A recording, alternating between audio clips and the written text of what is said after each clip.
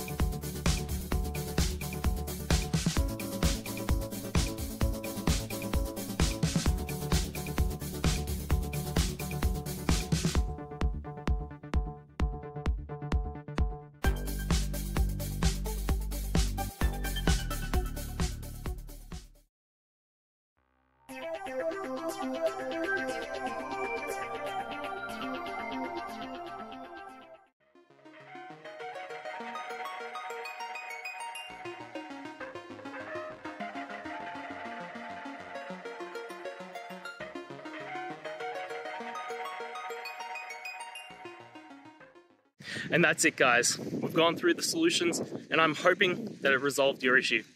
If it did, please hit the subscribe button. I'd really appreciate it. And until next time, I hope you have a good one. Cheers.